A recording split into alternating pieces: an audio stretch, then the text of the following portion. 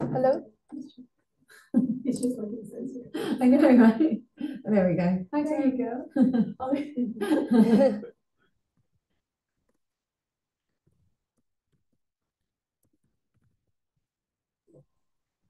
Can you hear us?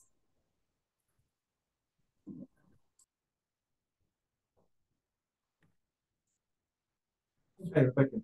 I'm actually, I don't know if we can do it on the on the big screen and then I, a nameplate would work, but then I'm not sure how I do the slides. I mean, we can control them for you if you want. But there's lots of fiddling about. Yeah, you prefer to control them. I mean, if that's okay, I could um, I could just do it like this, but then Yeah. my picture's going to be this one. That's fine. Yeah? Yeah, and then we have the, this here, but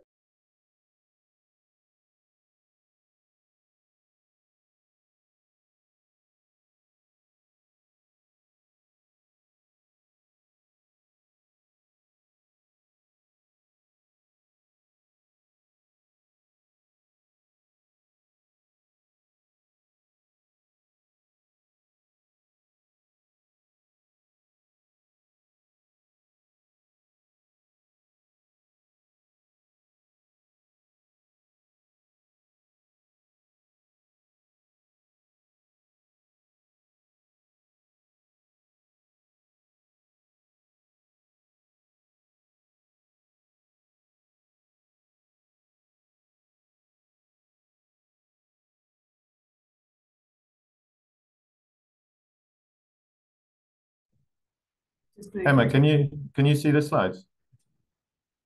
Yeah. Yes, it is.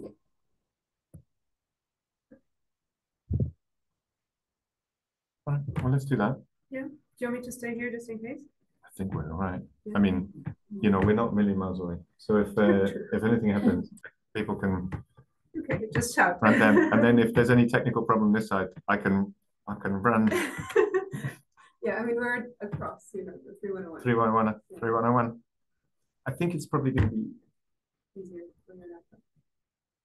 You tell me. You think if you set it up on the. yeah, but then then it's a question of how do we control the slides? We just have to extend the mouse. I know, we for like three minutes. I don't think it's worth it. I think the technical, tech technology risk it is, is, uh, is sufficiently high. Perfect, okay.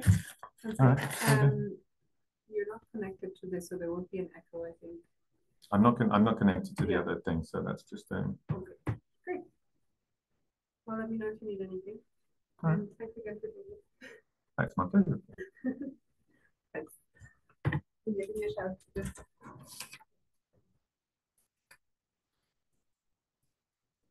See you, see you, thanks.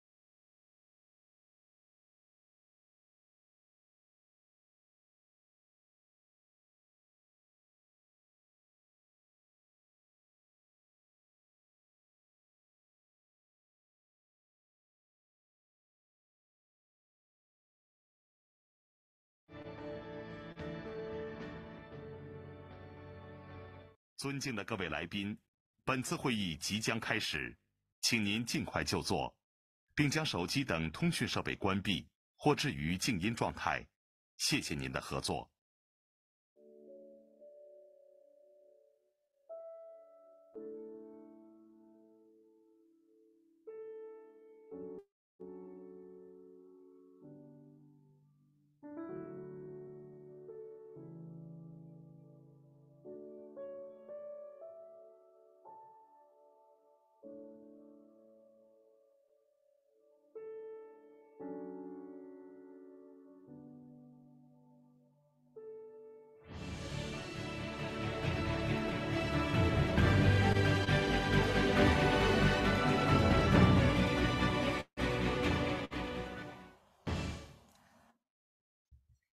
敬的各位嘉宾、各位线上的朋友，大家下午好或者上午好。 Ladies and gentlemen, good afternoon, good morning.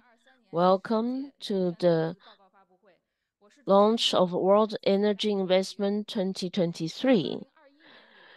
Since uh, 2021, our Beijing Institute has been working with the IEA, and we have published a few documents and reports, and also to explore the energy field in China and in the world.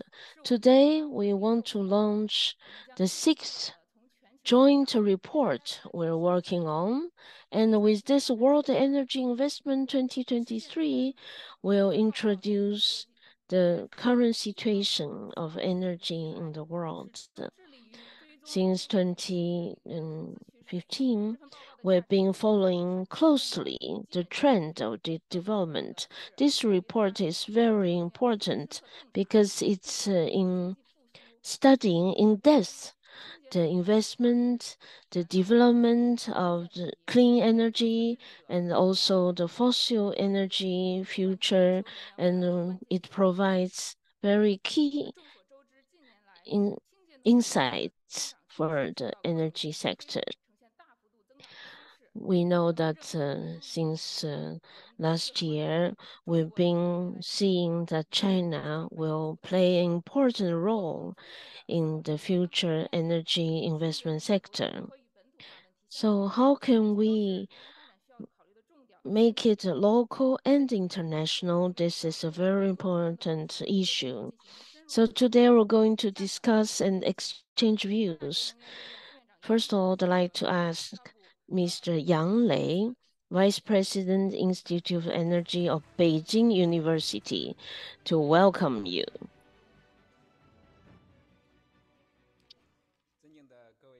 Distinguished guests, friends, good morning or good afternoon. We're very pleased on behalf of the Beijing University to work once again with the IEA to publish this World Energy Investment Report. On behalf of the organizers, I welcome you. This summer, IEA's DG came to China and came to our university, Beijing University. We also signed an MOU for a future broader cooperation. I remember he said, where is your money? Where is your heart? And uh, so, you know, where the money goes, your heart goes. We know that uh, new energies grow rapidly, and we know that more and more people are paying attention to the future development of energy. So investment is very critical in this topic. And the, the, energy transition is bringing more opportunities for investment, for job creation, for better quality of life. So I'm not going to say too many things uh, here. I just want to give the floor to our guests and to our exchange. Uh, maybe one word on the role of the university because education is very important and is servicing the society.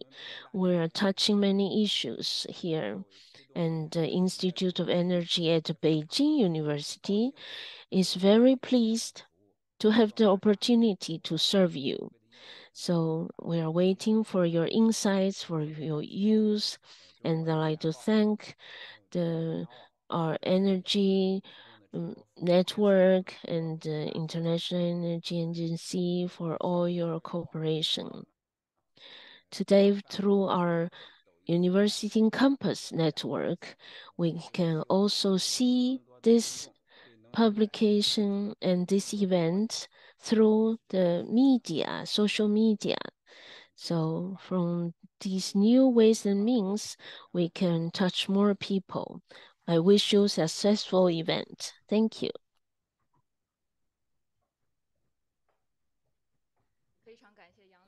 Thank you, Mr. Yang Lei. So I would like to connect with our friends in Beijing, uh, in, from Beijing with Paris, Mr. Tim Gould, Chief Energy Economist, International Energy Agency. Now the floor is yours, sir. Thank you very much indeed, uh, dear friends, colleagues. Um, very warm greetings to you from, from Paris, from the headquarters of the International Energy Agency. Um, we are very grateful to you for joining this launch of the IEA's latest World Energy Investment Report, and we're sorry that we are unable to join you in person in Beijing on this occasion.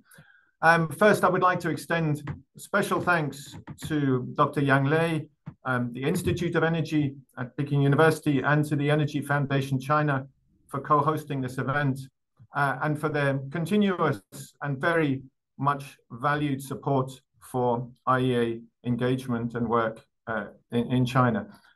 So in a minute, I'll be presenting our new World Energy Investment Report. This is our flagship look at the state of play for capital flows into the global energy sector. And it focuses on the state of play today, but it also tries to gauge what it means for our joint efforts to create a safer and more sustainable energy system.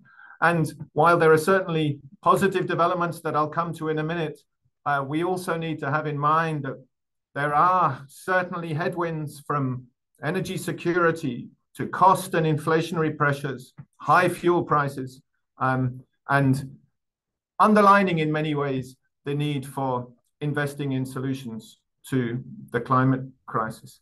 And I would only echo the words of Dr. Yang Lei in underlining the vital role that energy investments play in the global clean energy transition.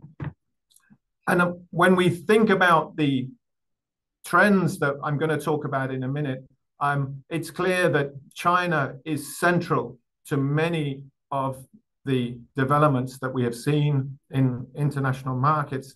Um, and I'll be coming back to that uh, in, in a second. But there are also many challenges that remain, including the need for more ambitious policies in many areas, and also the need for much greater international cooperation to mobilize different finance tools. And when we think ahead to the conference of the parties, to COP28 taking place uh, in Dubai, finding common ground on ways to increase clean energy spending, particularly in emerging and developing economies where most of the growth in demand for energy services will take place. That is going to be really a paramount issue um, if we want to maintain our 1.5 goal within reach, but also to reach a range of other sustainable uh, development goals. So I look forward very much to hearing from the distinguished experts that are gathered here today about your observations of China's domestic and international energy investments um, within the context, of course, of the dual carbon uh, goals, as well as plans to engage more on clean energy investment internationally and to halt investments in new coal-fired power projects abroad.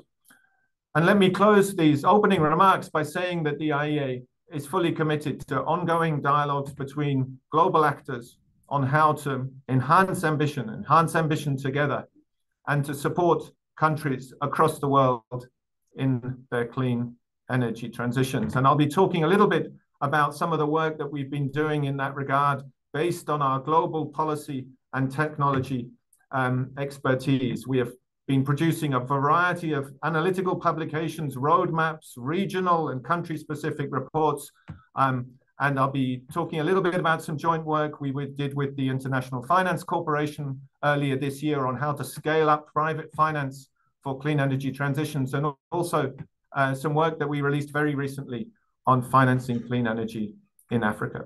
So with that, um, I look forward very much to an interesting discussion and thank you once again for your participation here today.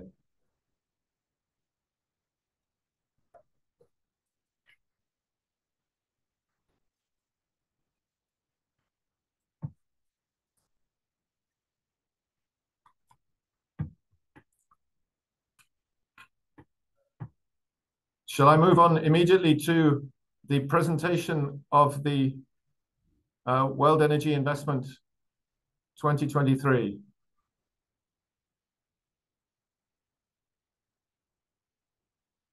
I think that seems to be the best way forward. So let me just um, share my screen and start with some observations from the International Energy Agency on the state of play with um, clean energy investment flows uh, uh, around the world.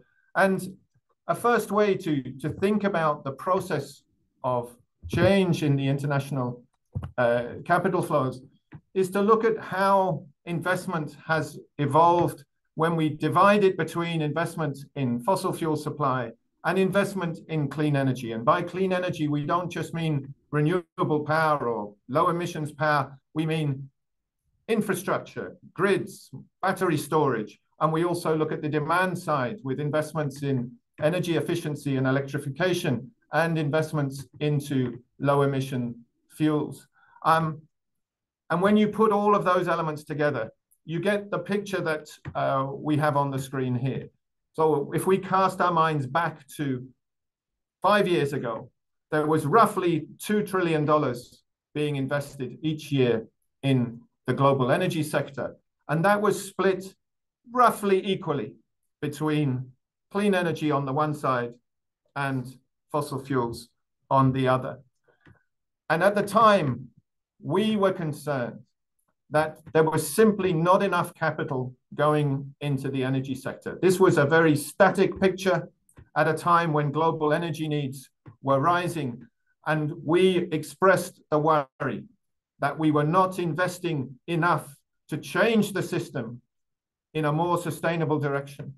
But we were also not doing enough in the absence of that surge in clean energy investment. We were also not doing enough to maintain the good functioning of the system uh, that we have today.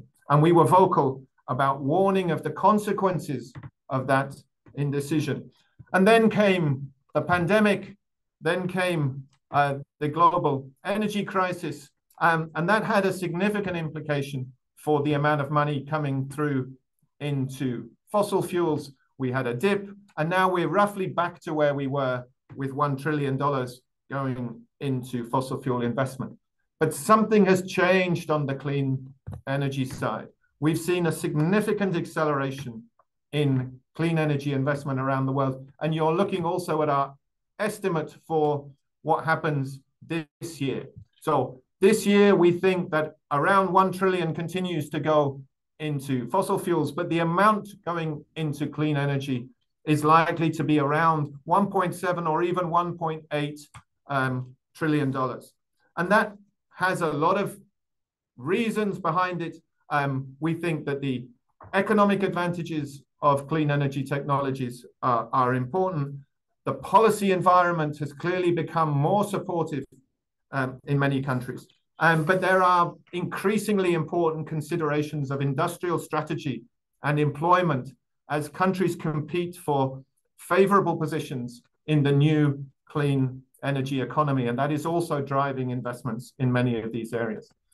And one of the emblematic illustration of these new investment dynamics comes if we compare the amount of money going into solar investment versus the amount of money going into upstream oil, because solar, in many ways, is the star of our new report. Um, this is the situation 10 years ago. This was back in 2013 when oil costs were high, and, but solar was relatively expensive too.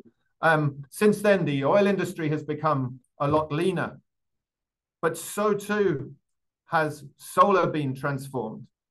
And it's not just that investment in solar has tripled in dollar terms.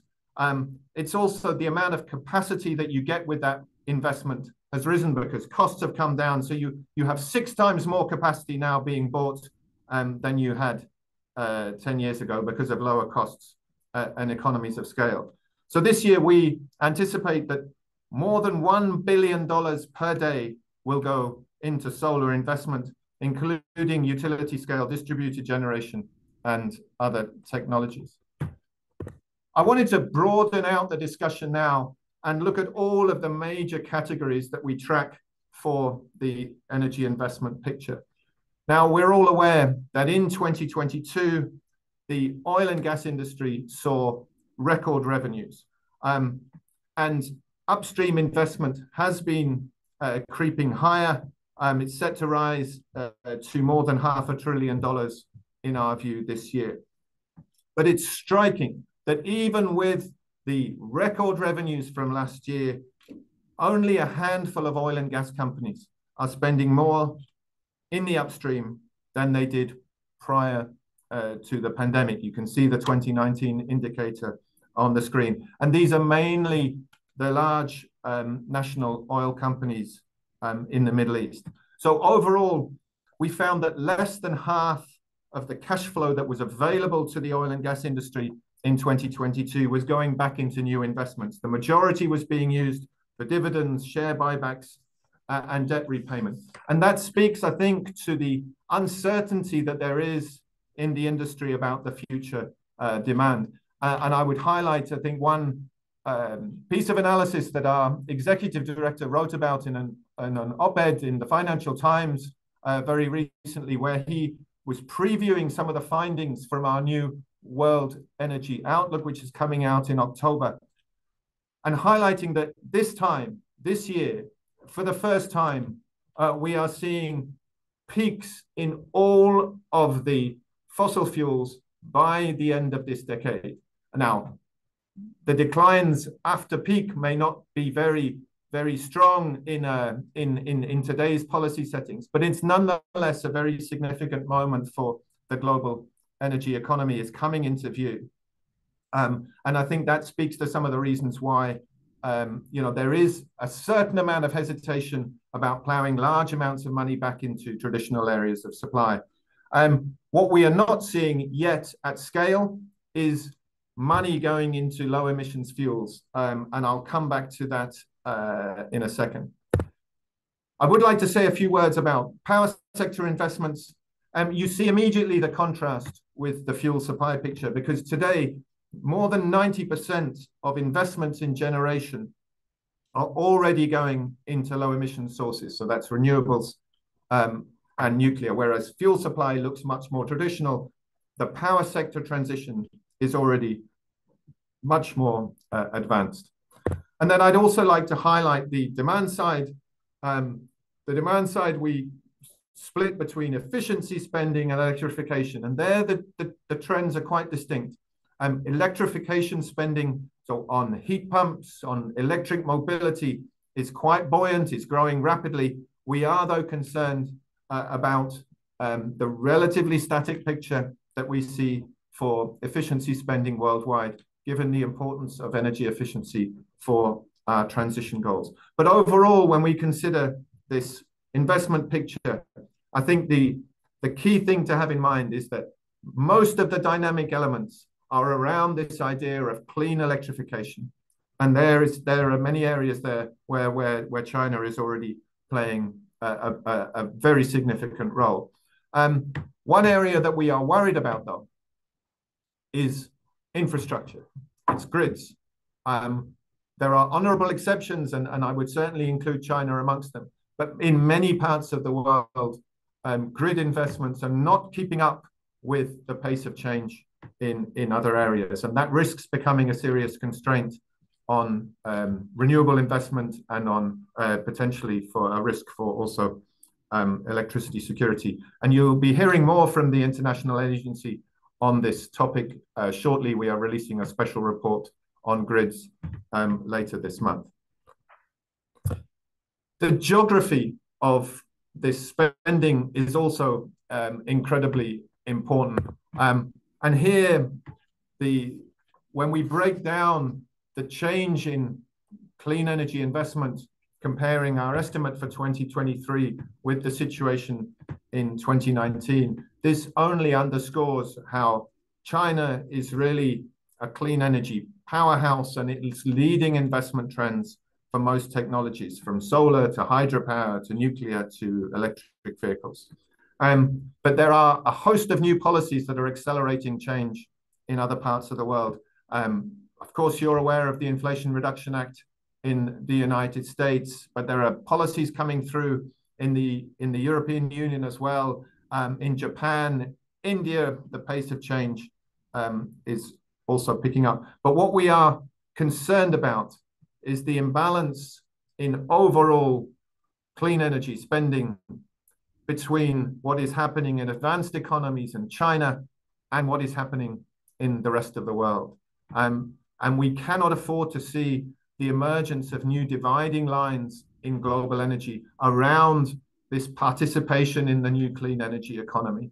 Uh, and that's one of the reasons why uh, we put a lot of emphasis in our international engagement on how to scale up investments in clean energy in many parts of the emerging developing world. And I'll come back in particular to the question uh, of investments in, in, in Africa uh, later on. Um, this is a this is an incredibly important moment, I think, for the international community to come together, for countries to show leadership um, in helping um, the world participate in in in these this, these technology opportunities that are opened up uh, today. One other area that I think is is is quite strategic is the uh, issue of of natural gas, um, because quite a major factor affecting today's investment trends has been the need to replace the shortfall in Russian gas deliveries after Russia cut supplies by pipeline to Europe follow, following its invasion of Ukraine. And in response, it's given additional impetus to clean energy deployment in Europe, but it's also been spurring new investments in gas supply uh, and infrastructure. And we have seen a wave uh, of spending on new import capacity for LNG. Um, Europe's expanding its overall LNG import capacity by around one-fifth over the period to 2025, and there are import projects uh, growing in Asia as well, um, notably in China, which, as we all aware, has been very actively contracting for new LNG in in recent years. Um, but there's also been um, additional investment in export capacity in the most expensive part of the gas value chain. So um, quite a few projects, notably in North America, have been given the green light um, since the start of 2022. These take time to come to market, but we are seeing a very strong influx of new projects starting operation in around the 2025 to 2027 uh, period. Some 150, 170 BCM of annualized new capacity coming into operation and uh, during that two-year period. And that is going to have very strong implications um, also for, for, for markets uh, around the world. I wanted to come back uh, a little bit to this question of low emissions fuels. Um, this is just starting to pick up, but it's an area where policy uh, support has become um, increasingly visible. And you can see on these two slides, on the left-hand side, hydrogen electrolysis, on the right-hand side, CCUS, you can see the impact of some of the new policy measures that have been announced by governments around the world. These are announced projects, so we don't have guarantees that they would all come through. And but there is the prospect from a very low base of a much more active international sector around clean hydrogen production and around carbon capture utilization and storage. I think where we have um, some concerns on the hydrogen side is that we do see a bit of a mismatch in the international discussion. Lots of emphasis on new supply. There needs to be much more emphasis on who is going to be using that low emissions demand. Are the policies in place to encourage uh, demand also for uh, low emission hydrogen? And we'll be talking more about this on Friday when we release the next uh, edition of our Global Hydrogen Review. I wanted to say also a few words about investment in clean energy supply chains, because that's uh, a major focus of area for policymakers, investors, and indeed uh, for the IEA. And on the left-hand side of the screen, I'm taking the example here uh, of batteries, because record sales of EVs, strong investments in battery storage for power, uh, and a push from policymakers to scale up domestic supply chains. Uh, we've seen a really wave of new lithium-ion battery manufacturing projects around the world. Um, and today, as we're all aware, um, China has a very strong position in global battery manufacturing. In fact, it has a, a very strong position in uh, pretty much every aspect of the clean energy supply chain, with the possible exception of the mining uh, of critical uh, minerals. And the announced projects that we've seen uh, around the world, they do, um, you know, bring down that that overall share uh, of China in global uh, manufacturing uh, capacity. But China remains an immensely important player, um, even if all of those projects uh, come to fruition. But one of the questions that we also have is, are we going to see the adequate supplies of critical minerals to keep up uh, with demand? And we are also now tracking um, the investments made in new critical mineral supply. And what you're looking at on the on the right-hand side of the screen is that those investments are picking up. Thanks to high prices, growing policy support, investments in critical mineral mining um, they rose by 30% in 2022. And we're also seeing quite a strong growth in exploration spending in quite a diverse group of countries. Canada, Australia, activities growing in Brazil, other parts of Latin America, and in resource-rich countries in Africa. But moving from exploration to new production can take a long time. There can be often difficulties with permitting, um, so that we remain concerned that uh, critical mineral investment will become a constraining factor for clean energy technology manufacturing and deployment. A few words here on sustainable finance, and we use here a sort of proxy for that discussion, the sustainable debt issuance. Um, that has grown very significantly over recent years. Um, but what I wanted to highlight here is the potential mismatch in sustainable debt issuance between you know the growth and where that sustainable finance is really needed and because the what we would like to see much more of is ways to channel some of that sustainable finance flows into emerging developing economies and you can see on the right hand side there's that there's a mismatch at the moment between sustainable debt issuance and where clean energy spending um, needs to be. Um, but also, we need to find ways to bring some of that sustainable finance into sectors that have difficult transitions. And by that, I mean some of the energy intensive sectors, some of the carbon intensive sectors. Um, I was uh, listening recently to a, a, a speech by, uh, by Mark Carney on this topic. And he said something which seems very um, self-evident in a way, um, but is not necessarily the way that this market operates at the moment. He said that we need to bring the finance to where the emissions are. And I think that's an important thing for us to have in mind that we need to ally some of these sustainable finance flows to those energy intensives, to those carbon intensive sectors where they have credible uh, transition plans.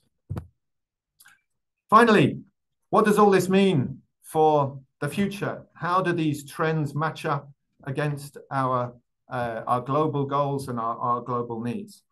Um, as I mentioned at the start, we have seen a, an acceleration in clean energy investment. And if that continues, if that continues to grow to 2030, as it has over the last two years, then overall spending, particularly on that clean electrification piece, which is in green on the screen, would be matching the aggregate amount that we need for meeting national climate goals, national net zero targets. So that's the APS, the announced pledges scenario. That's the middle of our of our scenario indicators there. But we would need a further acceleration to get on track for the what we're referring to here is the NZE, the net zero emissions by 2050 scenario, which is consistent with a 1.5 degree limit on, on, on global warming.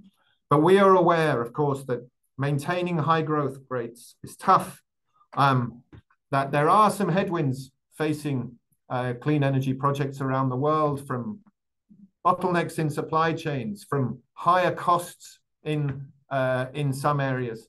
And these will need to be ironed out if we're gonna see those growth rates maintained. And we need to see growth not only in clean electrification, but as you're saying, in grids, in efficiency, in low emissions fuels as well, and some of those areas are lagging behind. And the most important thing, we need to see a much more broad-based flow of capital to a range of economies around the world, Uh, including emerging and developing economies. And if we are successful in scaling up that clean energy investment picture, then that has implications, too, for the amount of capital that needs to go into fossil fuels. Um, there's two messages from this chart. One is the interrelationship of our clean energy scale-up with the amount of capital that needs to go into fossil fuels. But I think it was also instructive to have in mind that the energy sector needs to attract new sources of capital. It is not sufficient simply to redeploy money that currently goes to fossil fuels into clean energy. We need to make the energy sector as a whole uh, more attractive proposition for uh, for for for clean energy uh, or for energy investors in general, or investment investors in in broad parts of the global economy. A final word on um, some work which uh, we released very recently at the Africa um, Climate Action Summit on financing clean energy in Africa. And I use this as an example uh, of some of the regional work that we do alongside the tracking in the uh, world energy investment.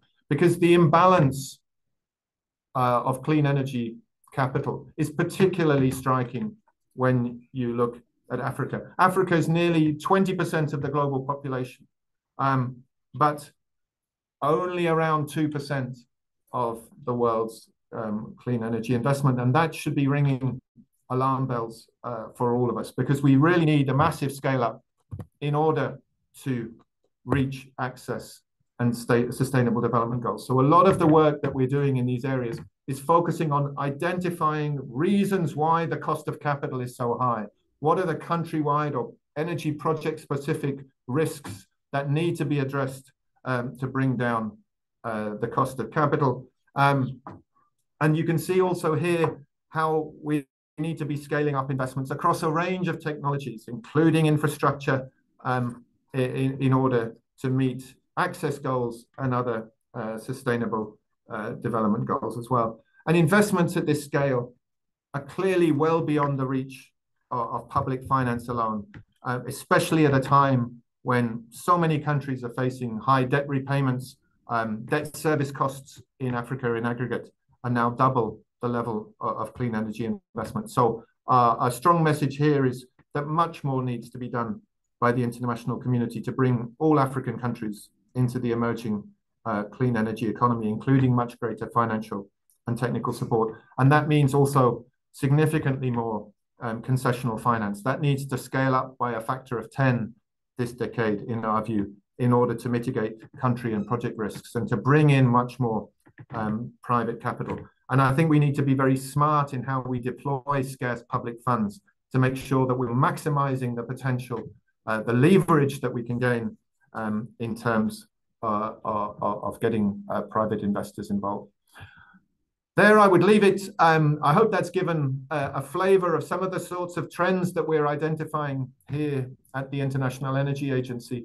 Um, this is ongoing work. Um, we are producing regular updates, and we would be more than happy to share those insights as we develop but also to listen carefully to your views on these issues, and to see how China, which makes such an important contribution to all of the trends that we are that we are looking at, Uh, will evolve its policies and strategies in the future. Thank you very much for your attention.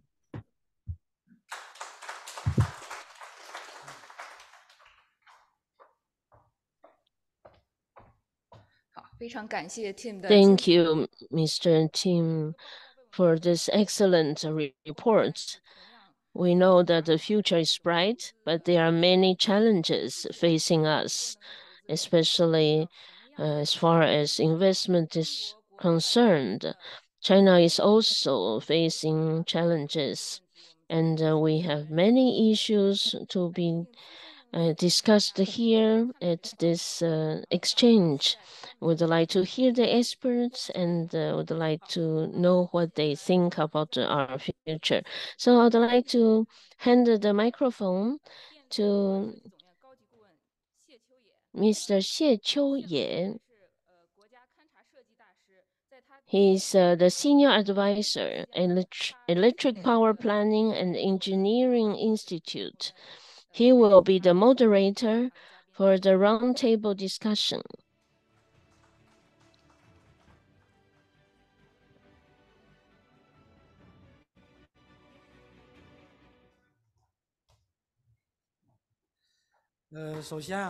First of all, I'd like to thank Mr. Tim uh, Chief Energy Economist of IEA. I'd like to thank IEA and the Beijing University for inviting me here as the moderator of the roundtable section. So I'd like to invite our guests to the podium. First of all, it's Ms. Cui Ying, Deputy Director General of the International Institute of Green Finance he, she is at the Central University of Finance Economics with nearly 20 years of experience in green finance and carbon market mechanisms. And then is Mr. Wang Shen. He's the senior researcher of Beijing Institute of Green Finance and Sustainable Development.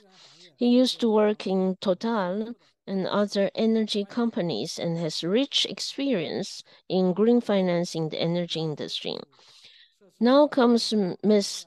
Huang Wei Vivian, Energy Strategy Officer at the Asian Infrastructure Investment Bank.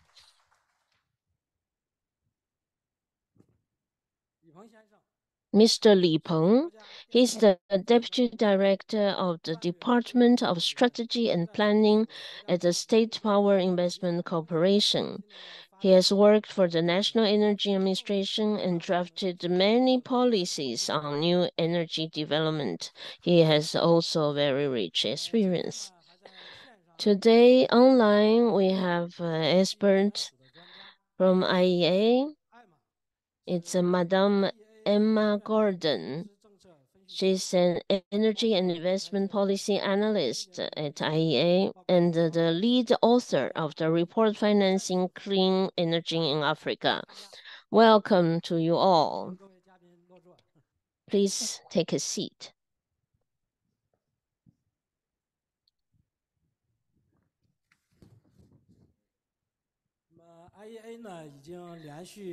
IEA for years has mm-hmm. been publishing World Energy Investment Report, and this is a very good contribution to the energy transition, especially investment for the world, because the report gives out very constructive views and is very helpful to every country even in China, we can take lessons from the report.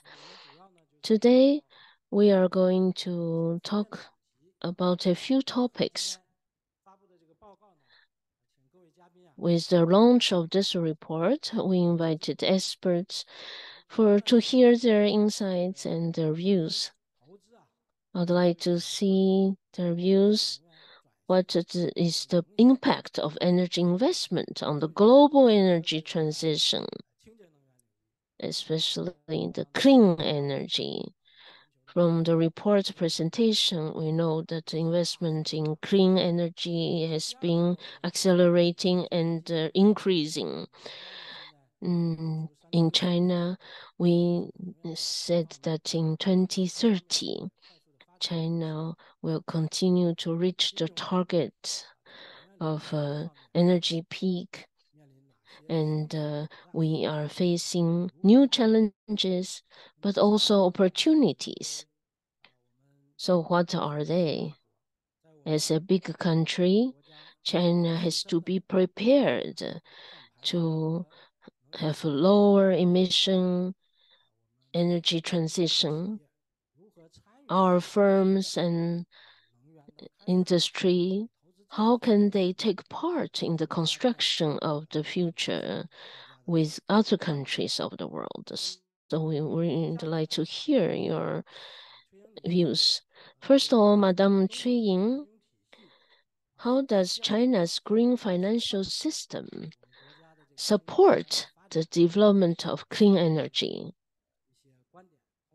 So we can hear from you what you uh, have been working on this, and also how can transition finance play a role in the energy transition, especially in the low emission energy. So, Madame Cui, you have to be the first. Thank you, Monsieur Xie. I'm very honored to have this opportunity to take part in this uh, launch of the report. From the presentation, we heard there's a sustainable finance in the report and also research about this topic. My institution is uh, working in this uh, green finance transition and uh, we have been also studying what is going on in other countries and also since uh, August uh, the our People's Bank has also talked about the green finance. What is green finance? It's supporting the climate change, energy saving, and uh, prevention. From the green side, energy is the most important sector. So green finance has been designed to meet the needs of the transition and to be supportive. So the green finance structure is to predict what we can do for green and clean energy. For example, wind power, solar power or photovoltaic modules. All the financial products have to be designed to meet the needs of this future development. In general, the regulation of China has also tabled a few plans. For example, the People's Bank has uh, tabled a few rules and regulations to regulate the finance products and the credits. Borrowing money have mm, to provide a credit and have the financial support. Moreover, there are incentives. For example, the subsidies for financial products if you issue a financial product, you can have a subvention from the state. Moreover, there's a mm, new products to be developed. So we have also other instruments, and this is what is attracting attention. So this can benefit directly to clean energy projects. It focuses on clean energy, including wind and PV. And also it includes storage, grid, etc., and other infrastructure project, which complements uh, clean energy generation. Other than that, this is also a framework that supports CCUS and other clean energy technologies. So this is so this is a way how the PBOC helps uh, the market with a lower interest rate. Of course, um, there will be People's Bank will uh, will shoulder a loss but they can ask for another loan with a lower interest rate at 1.7, 1.75%. So which is a mechanism that at the end will support clean energy projects. So this is also another instrument in the area of green finance in China. So now, a lot of uh, instruments are goal-oriented, result-oriented. Some of the projects, if they have a better performance, maybe they can negotiate a lower interest rate. Or if the project is greener, the greener it is, the cheaper the interest rate, the lower the interest rate. In addition, there's also ABS as an instrument uh, for wind power generation. So this is a way uh, to solve the problem of upfront spending.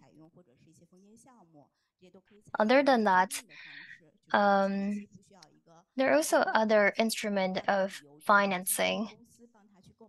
There's a company who will buy all the equipment for your project, and then you borrow these equipments. And afterward, these projects, after making enough money, they pay back the company.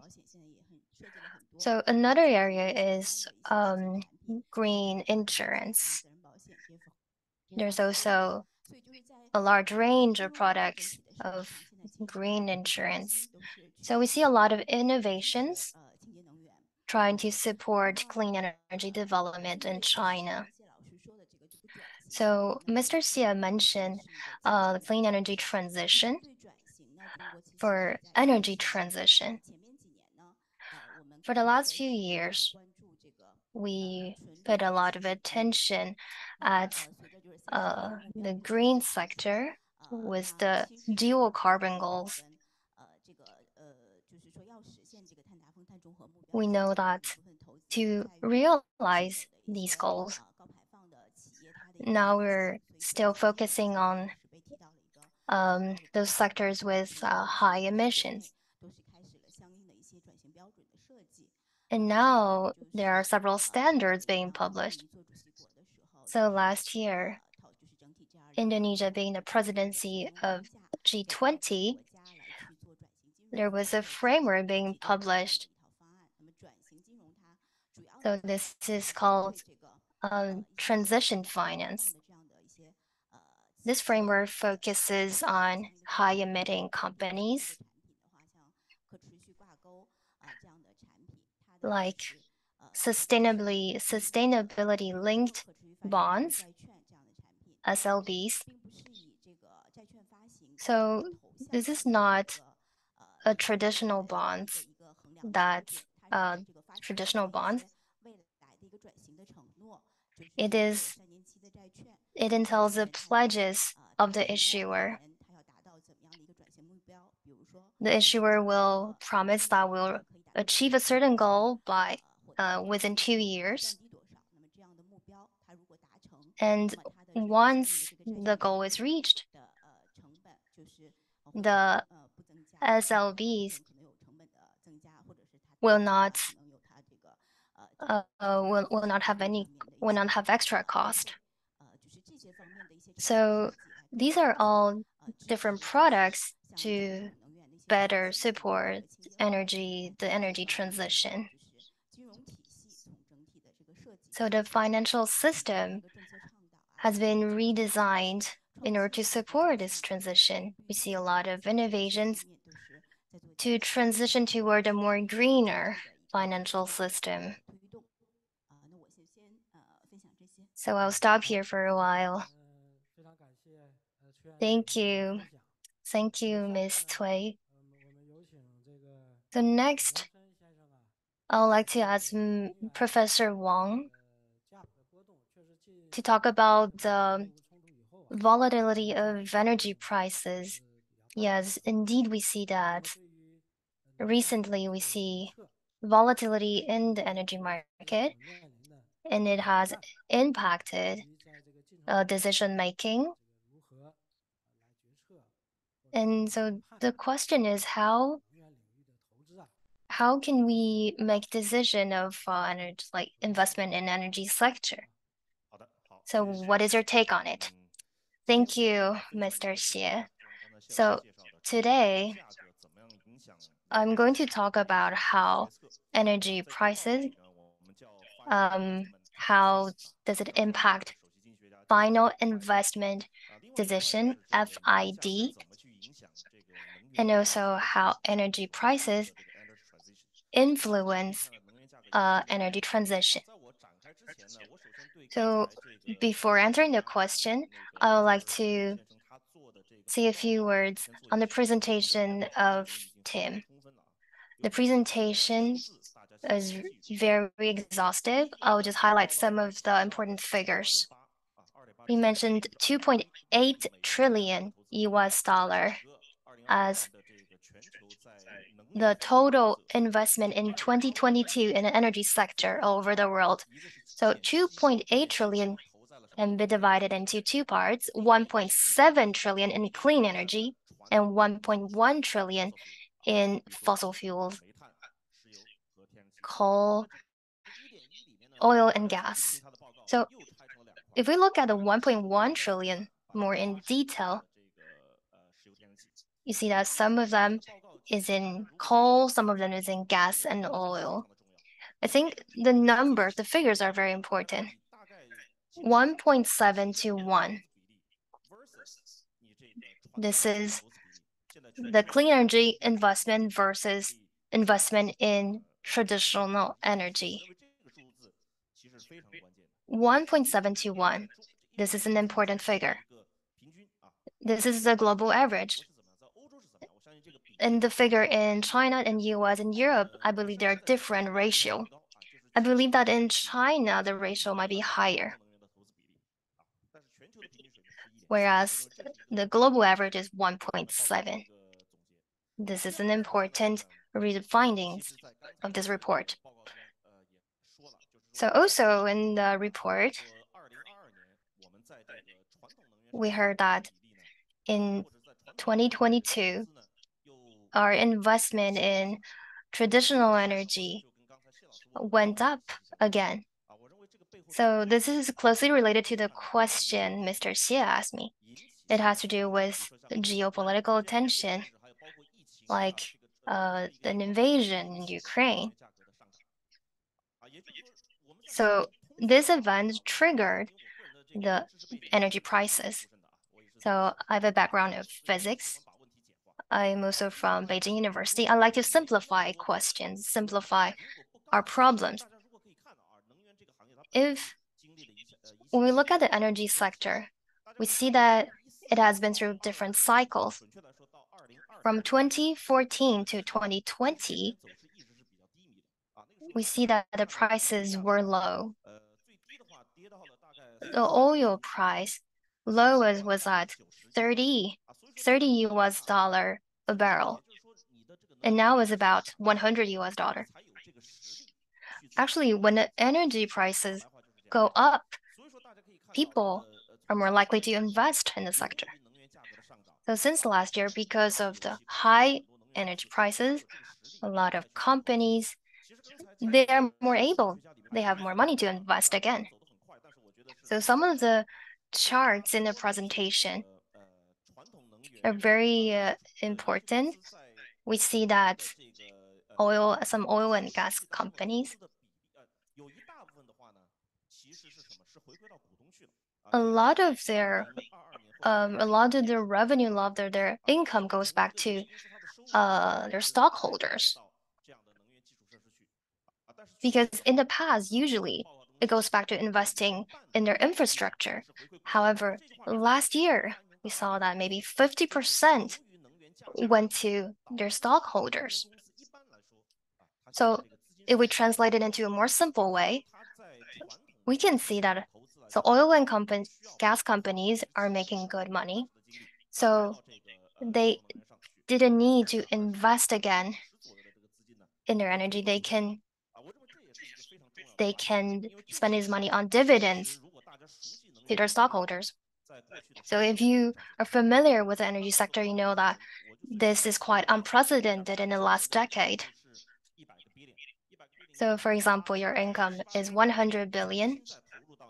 Maybe you will spend 70 to 80 billion again to your infrastructure, and you don't have enough money for dividends anymore. But in this report, we say that there's more than 50% of their uh, of their income went to uh, dividends. So another important thing about this report, again, is the ratio, 1.7 to 1. I think this is uh, the figure that will have an influence on our decision making. Energy prices and carbon price, the price of carbon. So for now, we haven't seen uh, many studies on the correlation between energy prices and the carbon price. But in the future, we believe that the correlation between these two will have an impact on the ratio that I just mentioned, ratio of clean energy investment and traditional energy investment.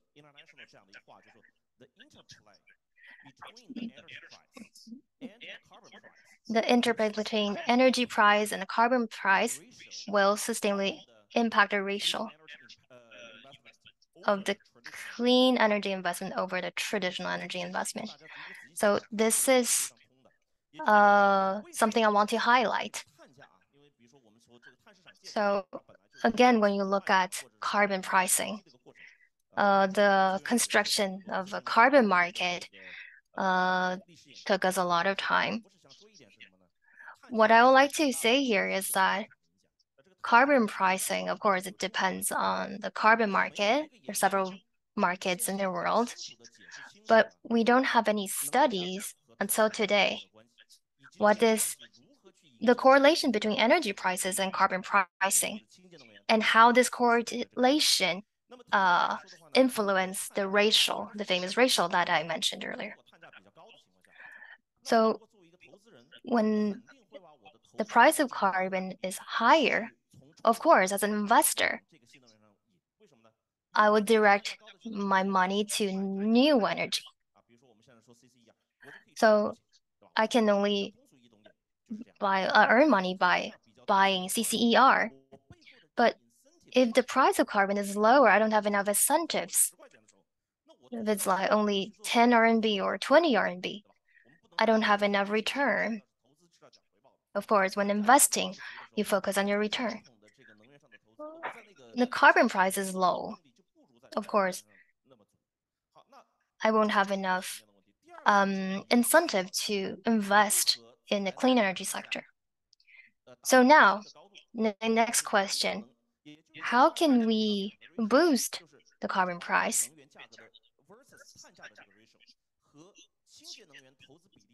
So two ratios, the ratio of energy prices and carbon price, and also the ratio of clean energy investment versus traditional energy investment. So these are some important figures we should pay attention to. I read the report in detail. I believe that, again, the ratio between prices, how does it impact investment? The ratio between two types of investments. So I believe we would like to see more the link between the two ratio that I mentioned. I believe if we have a clear idea of the correlation between the two, I believe it will point a clear direction for our future. Thank you very much, Mr. Wang. Thank you, Mr. Wang. Indeed, this ratio 1.7 is very important. Uh, for the technology side, we have to promote the transition. This is uh, very important. It's the basis. But during the transition, on the financial side, on the investment support, we have to have a booster. Therefore, I'm inviting Madame Huang Wei as a financial institution for Asia and the world.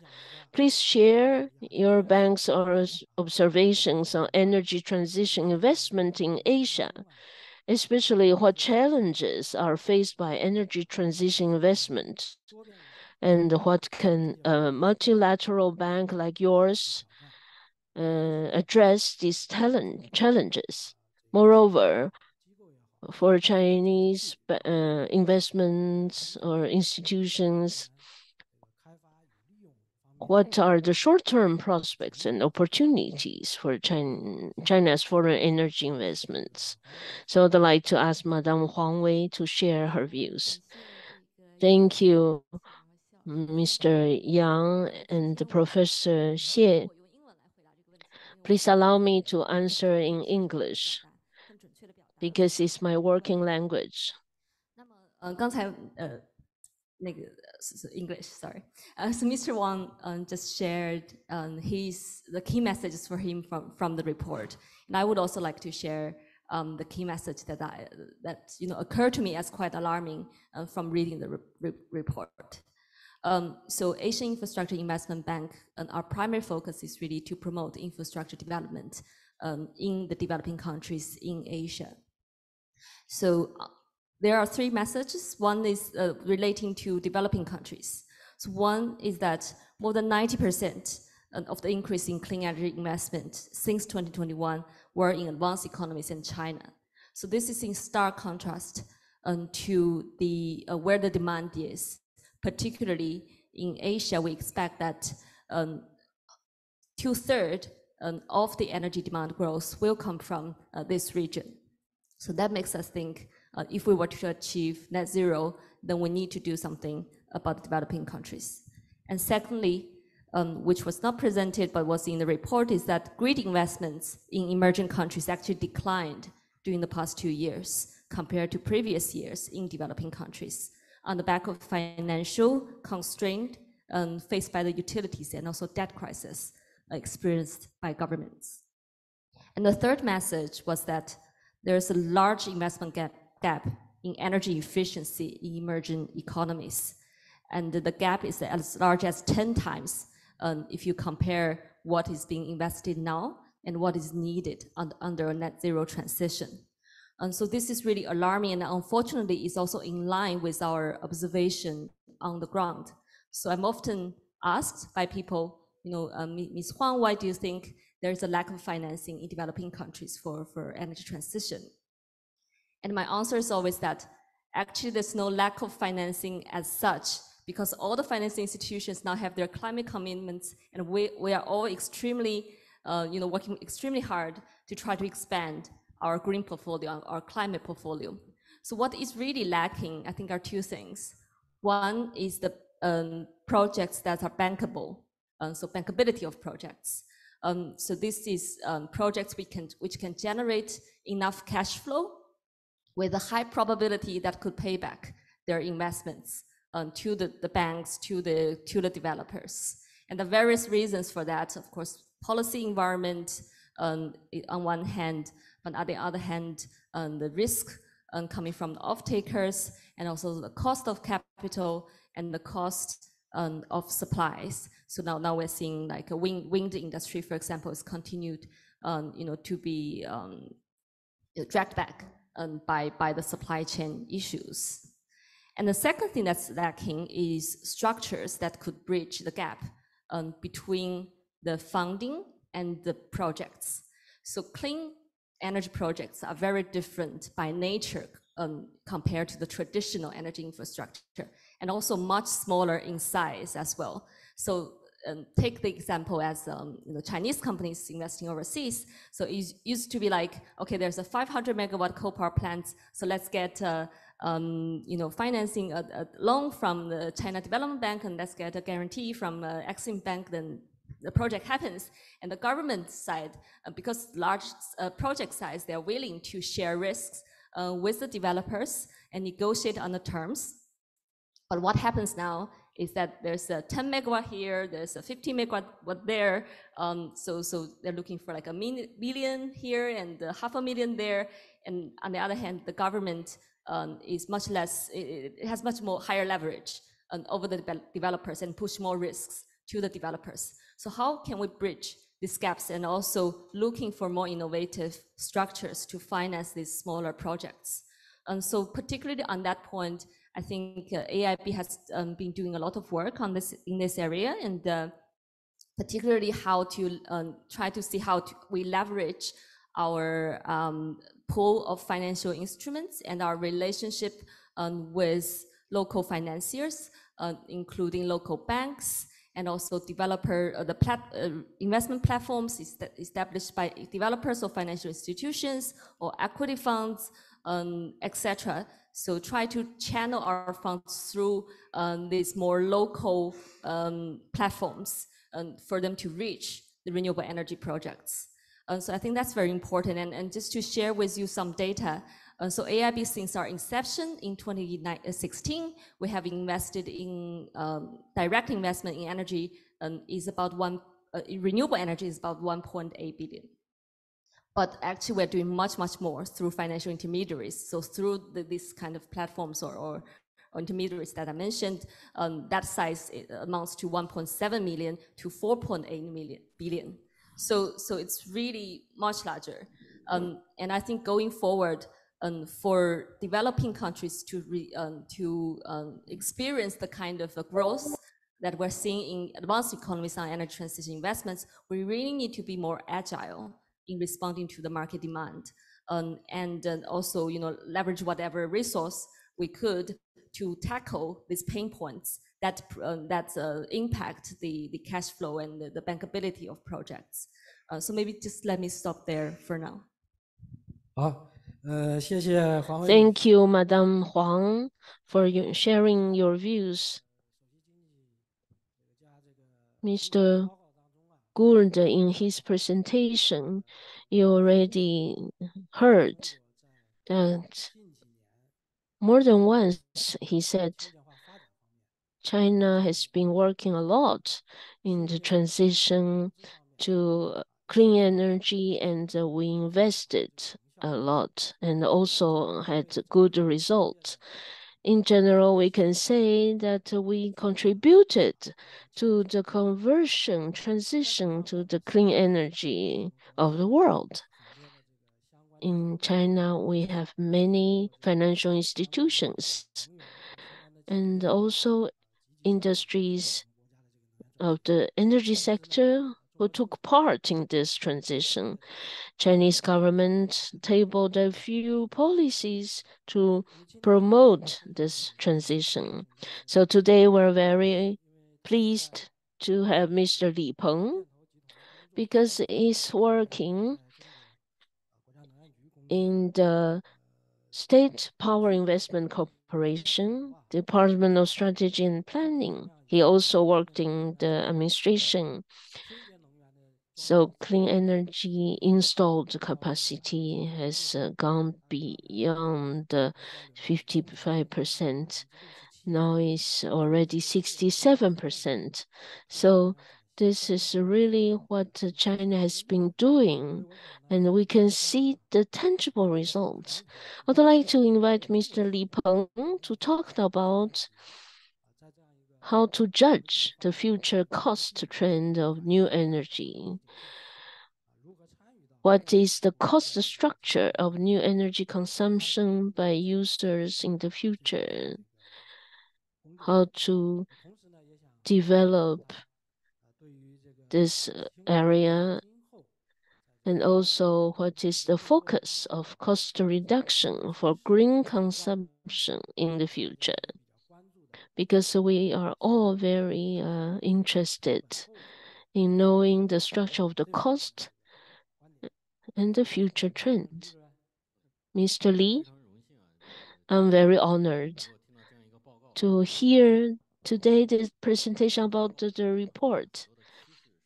And in the report, we've seen that many trends have been reversed in recent years. Since the pandemic, it's the first time we can say the first year of recovery. And we've seen many exciting trends and it will be in favor to the future energy transition. First of all, the PV's cost in six months, it has been reduced of 50%. It's 50% down. Moreover, the storage batteries also, its cost has been low down for 50% in six months.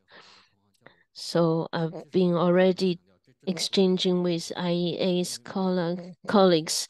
I said it's not because China gave uh, subsidies, because we don't have so ma many subsidies. It's really a trend. It's happening. The cost is down. More less than one month uh, ago, there's a very exciting cost for example, the wind power offshore, it's uh, within $300. Two years ago, it was $1,000. And uh, wind power on the sea offshore is 2.1 yuan. It's like uh, 2 cents US dollars. So renewable energy is having a lower cost. And this is already a very sound basis to promote the future development of uh, energy transition to cleaner energy. I just said that the cost of wind power offshore is 2.1 cents US dollars, but we haven't felt the difference. So in the future, not only we have to invest in new energies, we have to invest in the grid and also to have a big change because uh, uh, PV or solar power or uh, wind power are very important, but also electric vehicles last year has been more than 25% of penetration. This is a big change in the past, when we talked about the 10% of penetration in 10 years, nobody would have believed it. But now you are seeing it's coming true. So the PV's penetration, EV's penetration are very obvious. And also the cost of power generation is uh, less. So how can we have this uh, lower cost uh, power generation be known by the general public. We have to change our way of functioning. It's only by doing so that we can reach the energy transition. We've been working a lot in recent years from our state power investment corporation side to have uh, a green electrification. We have been constructing in this field.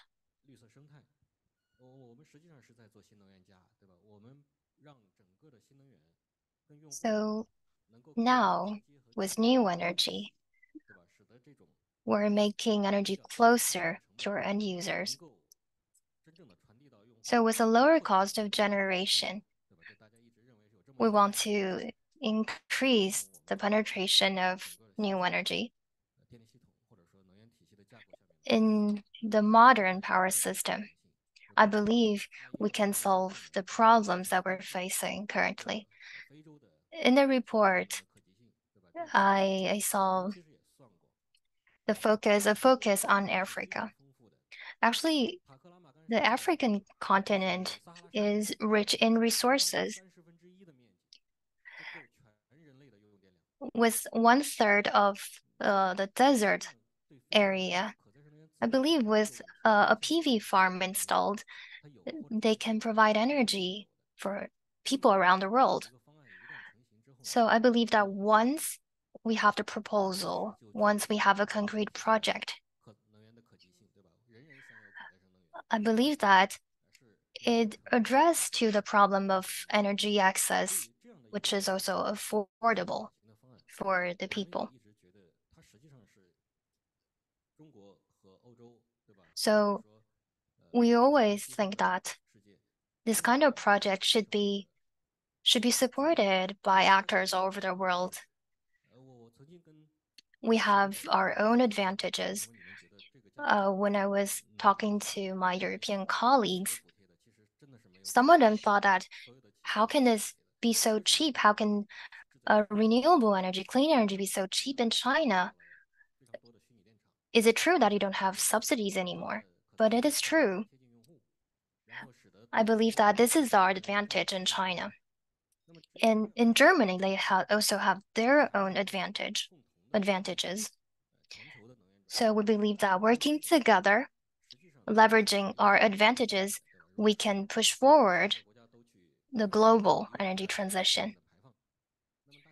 Nobody can work on its own. So we have to work together in order to achieve this goal of energy transition. The SPIC has been open to all types of collaboration. And in our recent visit to Europe, we've been expressing this uh, our willingness to collaborate with uh, colleagues over the world to address problems related to the clean energy. So then we can make the market bigger. If one day Africa is a big investment market, I believe this is a very promising market. Thank you, Mr. Li, Director Li. So we also have Ms. Emma Gordon with us, joining us online.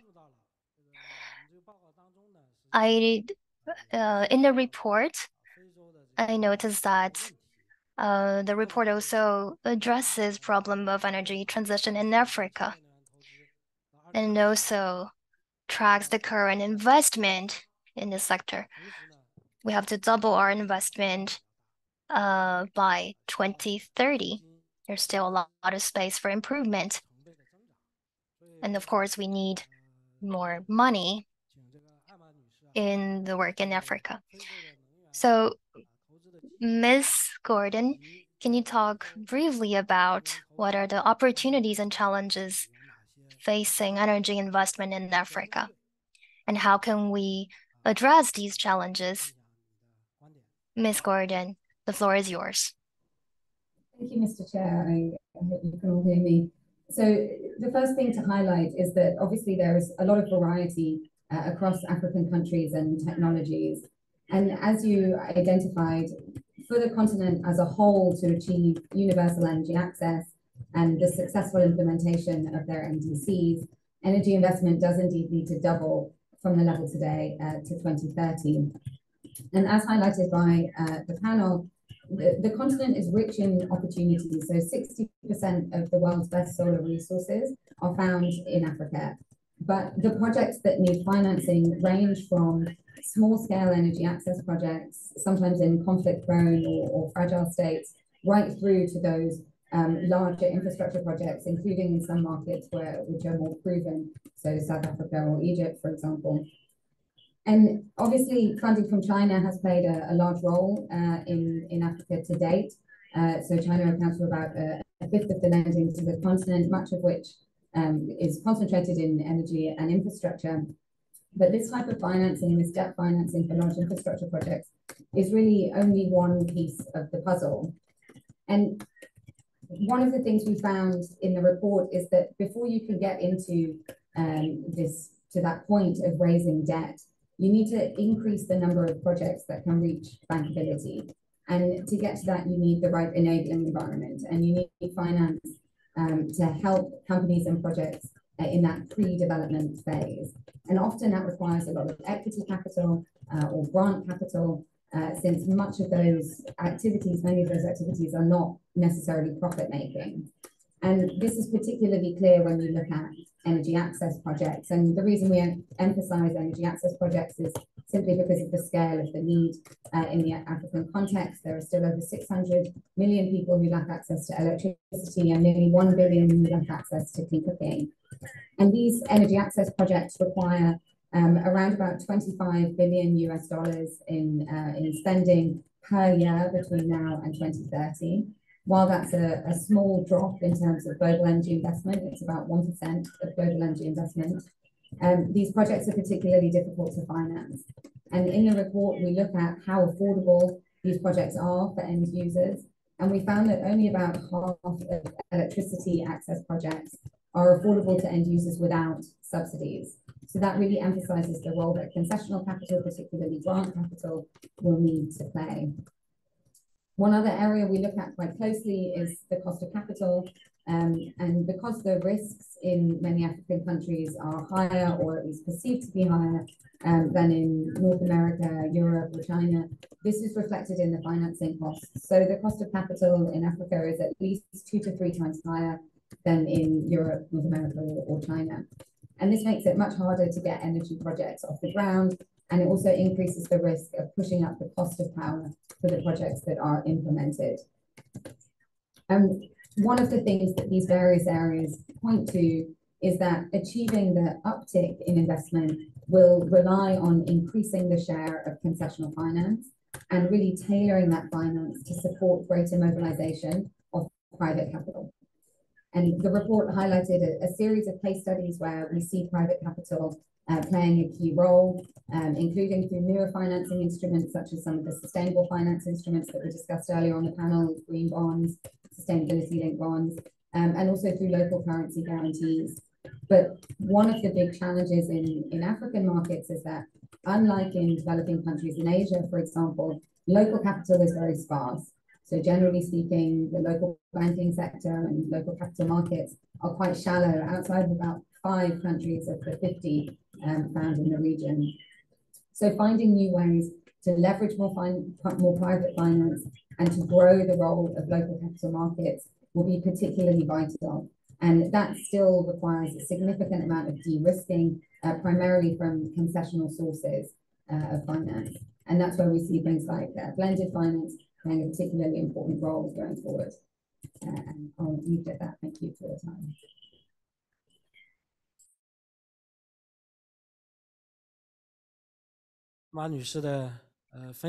Thank you, Ms. Gordon, for sharing with us. So, for this is uh, we're going to wrap up this panel and we'll um, have a Q&A right now. So we welcome any questions, any questions to our panelists today. So if you have a question, please raise your hand. So, good morning. So I would like to ask about the PV sector in China. The the pace of development, is it too fast or too slow? This is a question for Mr. Xie. Yeah, for Mr. Xie. But also maybe uh, Mr. Li Peng, this question.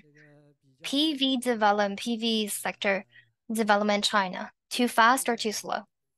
Okay, this is not an easy question. Uh, I actually I didn't catch your question. So for the solar PV sector, we all know that we see many figures that that it has its uh, experienced some explosive growth. I would like to know, is this development phase normal or is it too fast or too slow? Okay, thank you. So I think there are two parts of your question. One is the generation side, the supply side. And the second part of your question concerns the power system. The power system, or in terms of distributed generation, you want to ask more on the supply side or the the generation side. Can you be more deep? Can you be more specific? So to answer your question briefly, first of all, in terms of supply,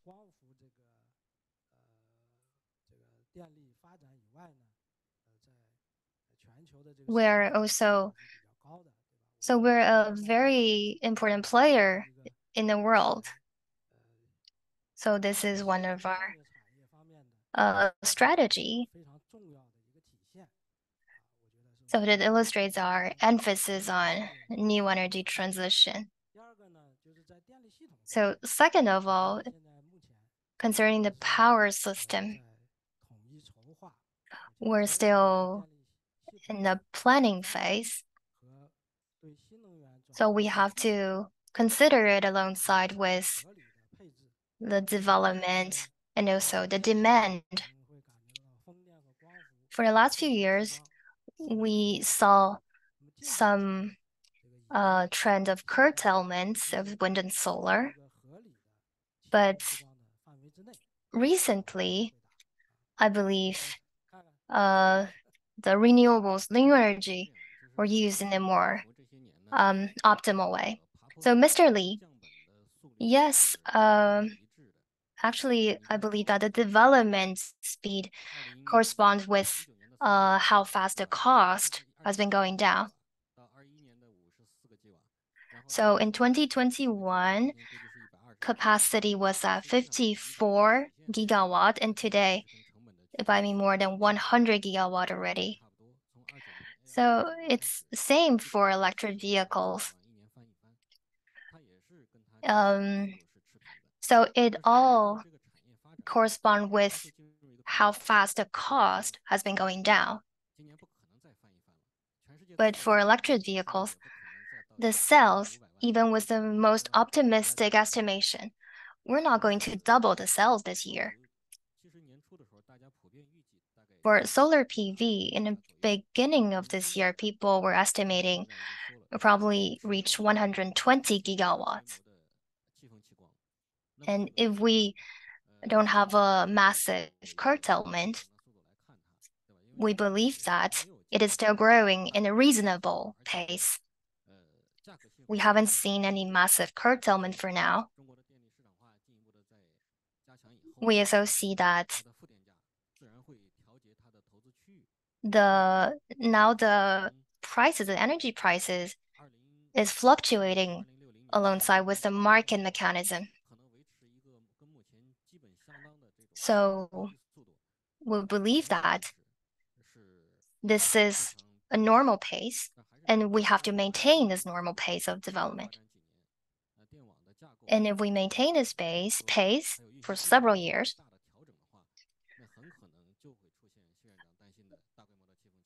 we, of course, if the if the pace is too fast, if the development pace is too fast, of course, we'll see some massive curtailments. But today, solar panel, the cost of solar panel has gone down drastically. So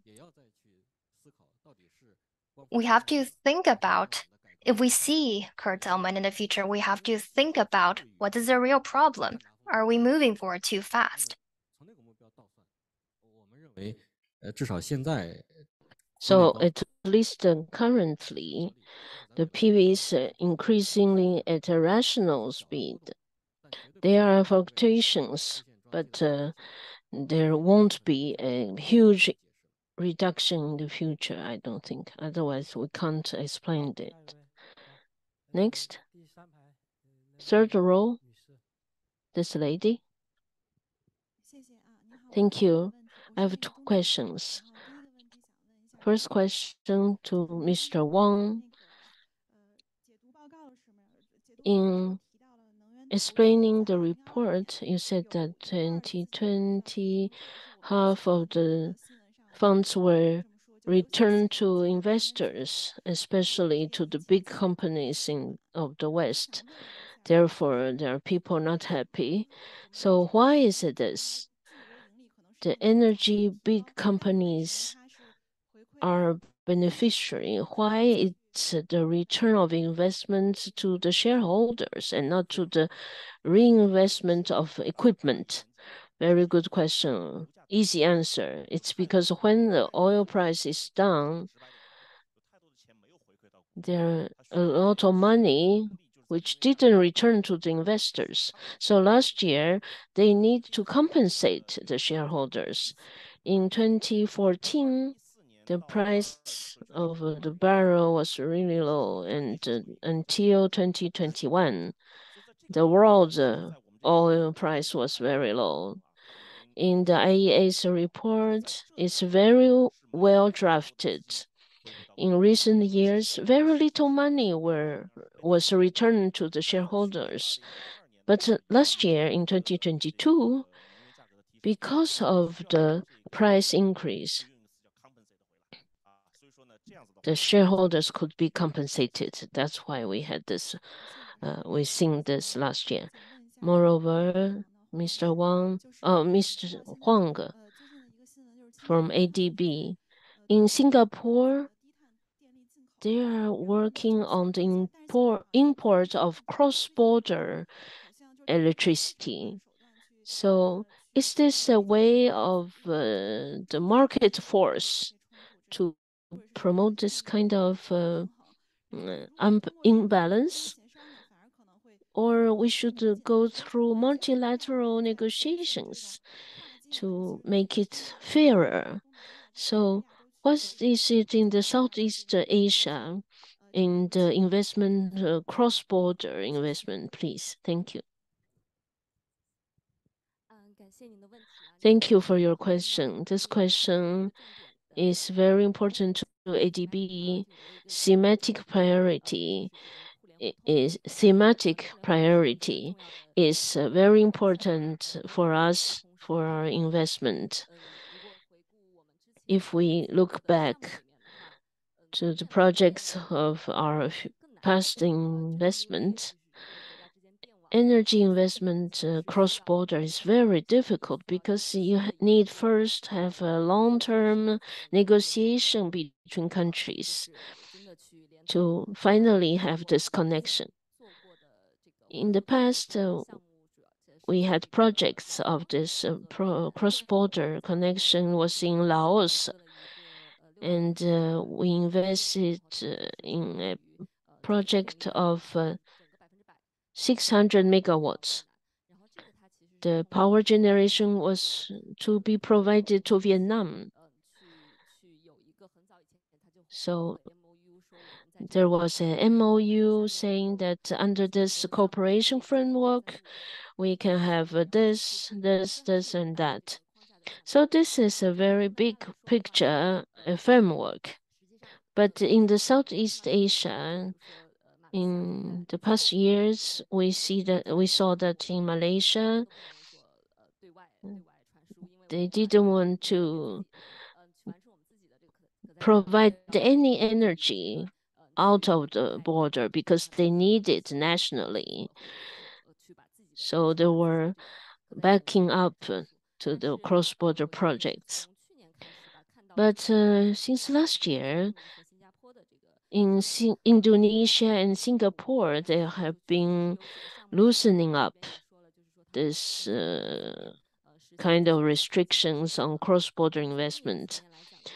But in, in the, how, how do you have uh, this uh, mm, benefit sharing between the government and the industry? This is very difficult because, uh, for example, in Indonesia, you need to have the ground base in Indonesia.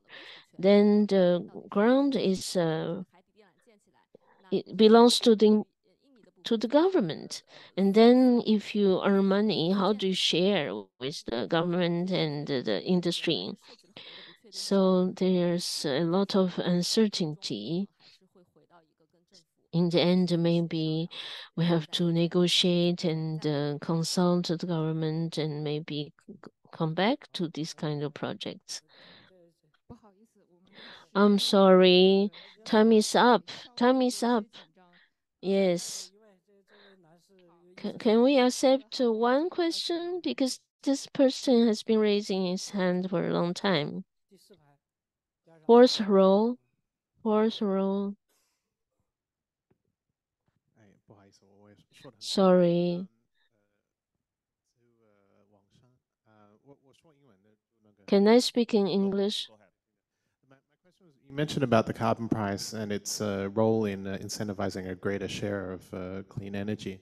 Um, the carbon market in, in China, um, of course, is unique in the way that it, its allocation is based on a, an intensity-based allocation of quotas rather than a, an overall uh, cap. Um, and that um, does create incentive for uh, lowering emissions in the coal sector, but not actually fuel switching um, to lower emission fuels. That incentive is missing because that cap isn't there. So I'm just wondering, uh, know, I, know, a lot of people in the carbon market space um, think that that's a shift that should happen in, in, in the future in China's carbon market.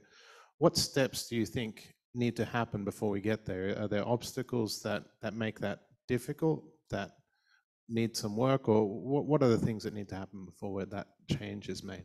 Thanks. Uh, this is a very good question about the carbon market and also the in connection with the carbon price, right? And to answer your question in a very short fashion, um, is there are many steps to do. Yeah. First, I think uh, China market, we have to admit that the Chinese carbon market at some point is different from the carbon market, for example, in the EU, but deeply connected.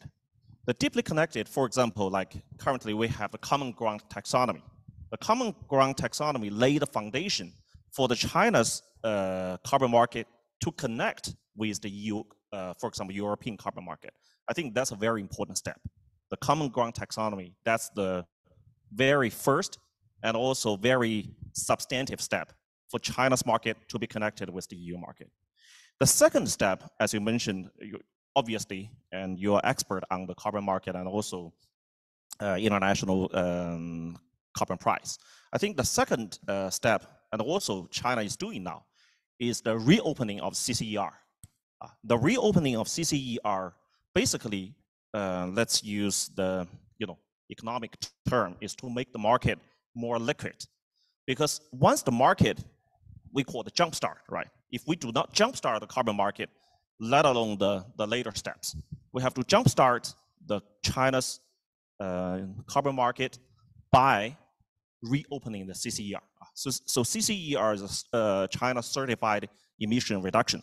And this CCER is very critical. And the third step, as I mentioned during my uh, opening speech, is I encourage all of people here uh, to think about the carbon, the interplay between the carbon price and energy price. The energy price, simply speaking, let's just use oil price, right? For, for example, now the oil price is like 90, uh, $90 or $100.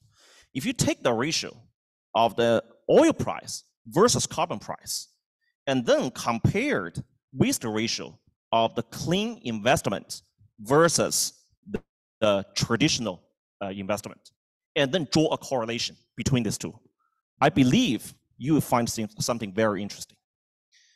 Let's go some extreme, uh, because I'm from the mathematics and the physics point of view.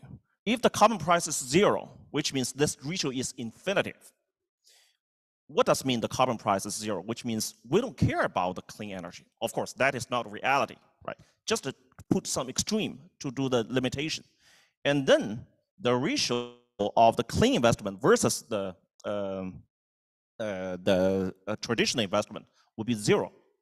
So next step, what I'm, thank you for your question, I'm suggesting is that we draw a correlation between these ratios. I call the ratios of the uh, energy price versus carbon price and the ratio of the clean investment versus the traditional investment.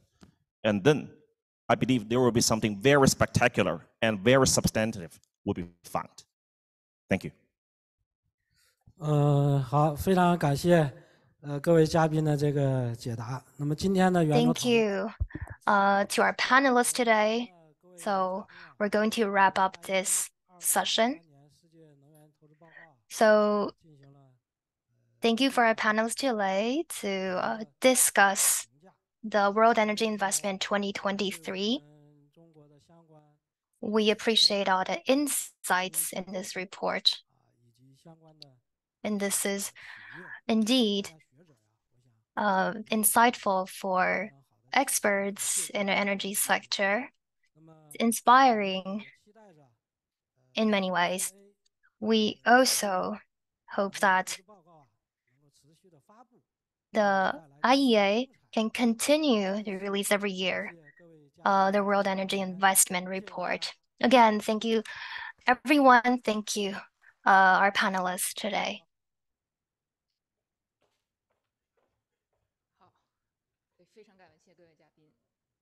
Thank you again.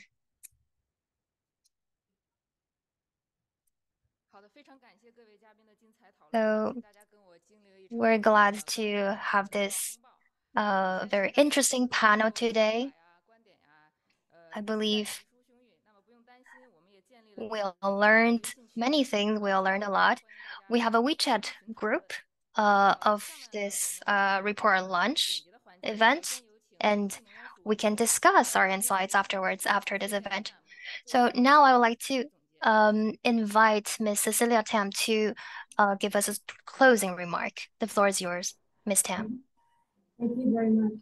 Uh, dear friends, colleagues, thank you for joining our launch of the World Energy Investment Report. Many thanks also to our esteemed panel of experts for sharing their insights about clean energy investments and sustainable finance in China and beyond. In closing, I'd like to share with you three takeaways from this lively discussion. First, China's clean energy sector has benefited from strong policy support, including access to affordable finance through its network of financial institutions. This has helped to drive down technology costs in record time and promoted faster than expected adoption in technologies such as EVs, solar, and offshore wind. Secondly, outside of China, emerging and developing countries continue to struggle to access affordable capital. While finance is available for bankable clean energy projects, many countries still lack an adequate policy environment that can provide the cash flows necessary to secure the capital which is available to finance bankable clean energy projects. To solve this, more concessional funding to help de-risk projects will play an important role in filling this gap. And finally, international collaboration and support will be critical to achieve the global clean energy transition. Chinese companies are actively financing clean energy projects domestically and also looking for opportunities abroad to invest in clean energy projects. Before we close this event, let me highlight a few items that the IEA um, is uh, working on. On the 26th of September, we will release an update of our net zero roadmap. The first report published in 2021 lays out a global pathway to keep the 1.5 uh, degree target within reach.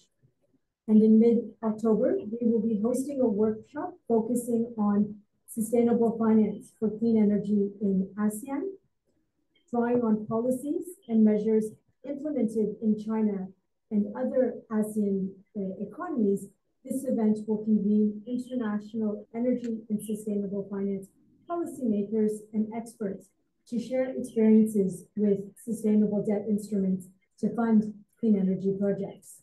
And then uh, ahead of this event, we plan to publish a commentary that looks at sustainable debt issuances in China, including a focus on the use of these instruments for transition activities.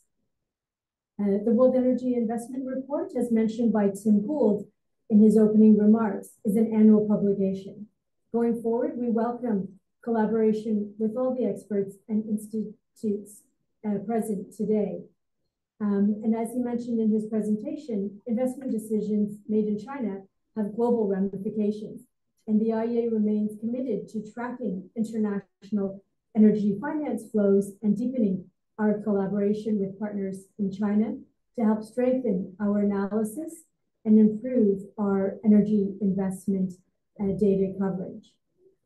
Achieving our global um, clean energy investment goals will require a much faster scale up in investments and access to affordable finance for emerging and developing economies. China's impressive experience and leadership in clean energy investments provides important lessons for other countries.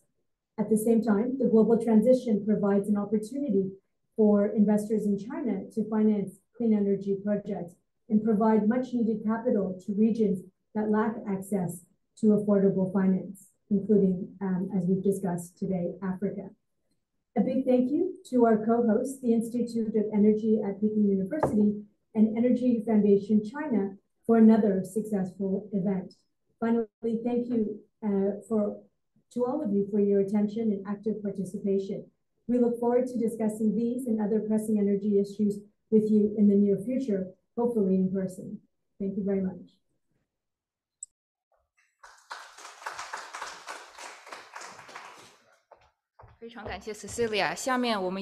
Thank you, Cecilia. So now I would like to invite Ms. Xin Jianan for a closing remark.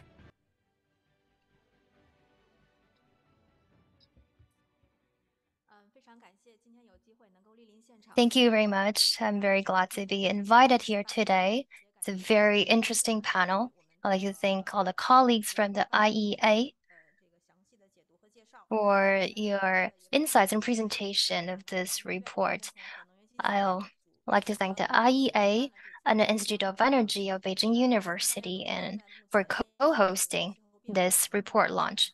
We all know that facing the current challenges of economic recovery, climate change, and all the uncertainties. 就像这个杨院长在这个呃开开幕致辞里面提到的，where the money is, where the heart is。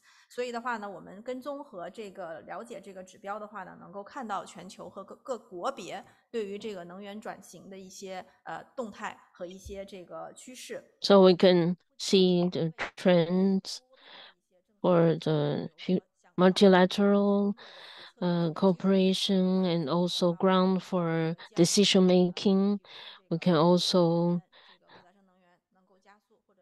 accelerate the renewable energy objectives. It will be very contribute a good contribution to boost the future development. I think this uh, publication is very important. Moreover, in China, just like uh, in July, IEA's DG came to China and we organized a dinner for in his honor. He also said that IEA very much stresses the development of uh, developing countries and uh, new economies. So in the future, we suppose that the green industry has a very big potential to welcome investment. We just had an estimate, estimate about 9 trillion per year, 9 trillion dollars of investment per year. So this is a, a, huge potential of investment. So how to take advantage of the current growth to adjust the midterm and long-term transition and have a very good connection to meet the challenges, including climate change, and uh, have a, a very prosperous green transition. So today, this uh, launch is a very good opportunity to have experts together to exchange views and to know what they think about the energy transition. So some of the experts mentioned the trends in recent years. Most investment are coming from developed countries and China and uh, investment in uh, emerging economies and developing countries are relatively uh, smaller. So we see that there are programs on capacity building to help developing countries to also benefit from this green transition. Energy Foundation is working with the IEA. We started a few years ago. Um, also in April, we published the power market report together. So this event, this is also a result of our collaboration. We're also working for a long time with the Institute of Energy. Also, uh, the dinner party hosting executive director uh, Fatih Birol was also co-hosted by uh, uh, Institute of Energy and us. We know that collaboration, international collaboration is very important. And our event today illustrates this important point. Energy Foundation China is willing to continue working with all of you to contribute to the energy transition in China and to support the transition over the world. So we have uh, another work with IEA. Um, Ms. Emma Gordon worked with our Chinese team. This report will probably be published um, in the near future. We look forward to share our experiences with developing countries. We would like to, I would like to appreciate, uh, extend my gratitude again to all the panelists and everyone today. Thank you very much. Thank you for the foundation. And today we went beyond the scheduled time. So I'd like once again to thank our friends online and the present. Many are taking pictures. But to be reassured that uh, photos of this event will be published online and you can also scan this QR code to have all the related information. There's a coffee break outside, a tea break and coffee break with uh, food. So you are invited and we have photographer to take pictures, professional photographer. So now the event is over. Thank you very much.